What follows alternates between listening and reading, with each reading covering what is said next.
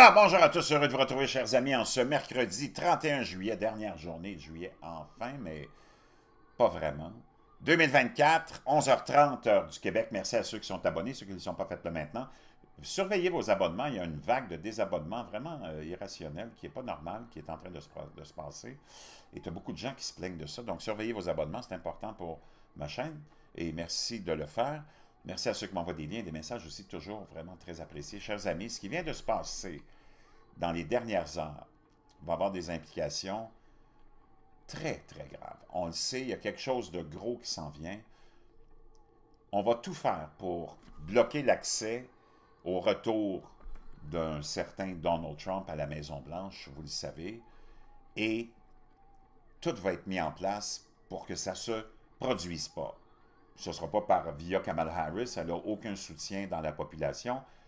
Toute cette espèce de popularité soudaine, c'est juste un écran de fumée. Ça vient même d'être euh, annoncé, dévoilé par certains, euh, certains euh, liens, certaines sources, que la campagne de financement, qui s'occupe du financement de la campagne électorale de Kamala Harris, a payé plein, plein d'influenceurs pour, les, pour montrer puis laisser prétendre qu'il y a un mouvement de masse qui est derrière mais il n'y en a pas. Donc, ça, ça ne marchera pas. Et on, on parle aux États-Unis, tu sais, de tous les autres pays où on, on, on, les dénigre en disant il y a eu un coup d'État, il y a un coup d'État, il y a un coup d'État. Bien, il y a eu un coup d'État. Euh, on est en train, le dernier en liste que les Américains sont en train de formenter, c'est au Venezuela. Mais il ne faut pas oublier que ce qu'on a fait avec Joe Biden, puis ce qu'on a fait subir aux Américains, c'est un coup d'État orchestré par Barack Obama. Ceci étant dit, je ne veux pas m'allonger là-dessus, mais les derniers événements des dernières heures, dans l'escalade au Moyen-Orient, vont nous amener dans un contexte extrêmement périlleux pour nous, et je vais t'expliquer pourquoi. Là, ce qui est arrivé, tout le monde le sait, il y a eu une attaque il y a quelques jours des forces du Hezbollah contre une espèce de terrain de soccer, football, euh, dans les hauteurs du Golan qui a fait des victimes syriennes drus. Je pense que c'est une espèce d'aile de branche d'une forme de judaïsme. Et naturellement, on s'attendait à une réplique, mais ce qui est arrivé est encore plus hallucinant. On sait que Israël est allé tout de suite, pas longtemps après, frapper au centre de, euh, euh, Beyrouth. Hein. On est allé frapper au centre de Beyrouth, on est allé éliminer un dirigeant euh, très haut placé du Hezbollah.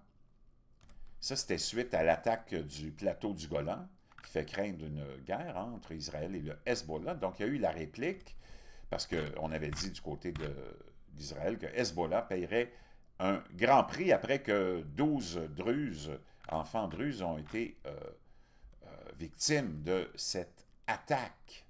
Donc, pas longtemps après, on a eu euh, cette attaque de, du euh, Hezbollah, c'est-à-dire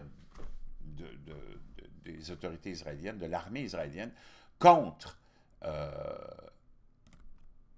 cette figure du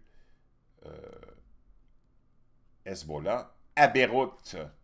Donc, on est dans une escalade extrêmement dangereuse, mais euh, donc, c'est ici la nouvelle, je l'avais, je, l'ai retrouvée, pour l'attaque euh, d'Israël euh, qui a frappé à Beyrouth. La ville sur le qui-vive depuis plusieurs jours à l'approche d'une attaque, mais là, ça a été fait.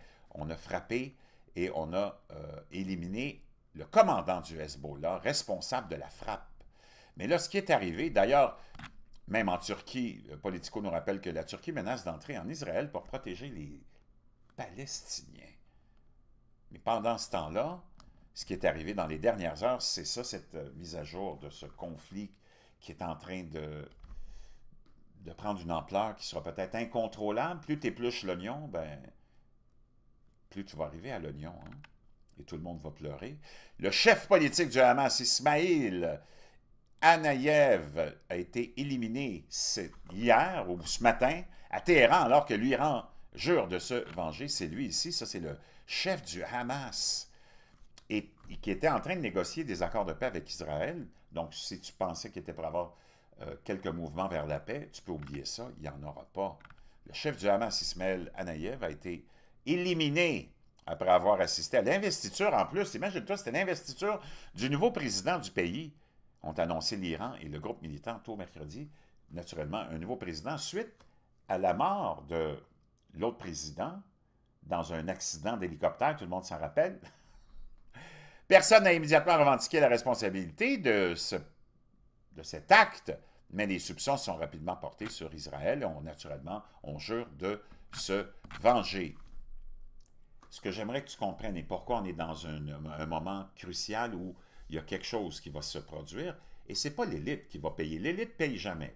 D'ailleurs, c'est pour ça qu'il n'y a, plus jamais, il y a presque plus de population occidentale qui veulent aller à la guerre, puis on est obligé de voter des lois de conscription parce qu'il n'y a plus personne qui va aller défendre les intérêts des riches qui nous gouvernent. Parce que dans le fond, des guerres, c'est juste ça. Il n'y a plus personne qui veut y aller. Et d'ailleurs, les, les, élites, les dirigeants ne sont jamais euh, au front non plus, tu comprends?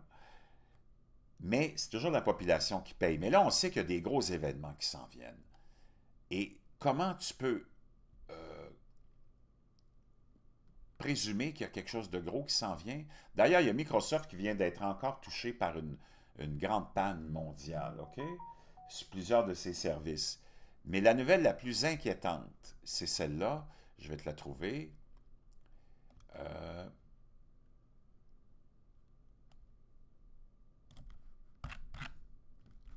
vais trouver ça, ça donne des frissons dans le dos. C'est que le, on, on, pense, et on parle beaucoup, beaucoup de tempêtes solaires, de tempêtes géomagnétiques solaires, que s'il y en avait une d'une ampleur comme celle de la force de l'événement de Carrington en 1880 quelques poussières, qui avait cramé tous les systèmes de télécommunications hein, euh, à l'époque, peux dire, les télégraphes, je peux dire une chose, on te le dit, les gouvernements sont préparés, se préparent et t'en parles de plus en plus dans les médias. Maintenant, c'est devenu un sujet presque quotidien, qu'une grosse tempête géomagnétique pourrait cramer tous les réseaux de transport électrique ou un événement d'EMP pourrait faire la même chose.